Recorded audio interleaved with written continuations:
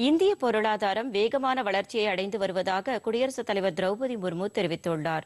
குடியரசுத் தலைவர் மாளிகையில் அவர் நேற்று இந்திய வெளியுறவு சேவையின் இரண்டாயிரத்தி இருபத்தி ஓராம் ஆண்டு தொகுப்பு அதிகாரிகளை சந்தித்தார்.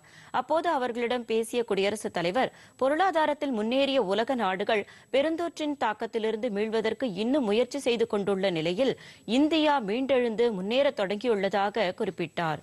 புதியதொரு தன்னம்பிக்கையுடன் உலக அரங்கில் இந்தியா தன்னை வெளிப்படுத்திக் கொண்டிருக்கும் இந்த தருணத்தில் வெளியுறவுத்துறையில் உங்கள் பணிகளை தொடங்குவது மிகவும் உற்சாகமானதாக இருக்கும் என்று அவர் கூறினார்.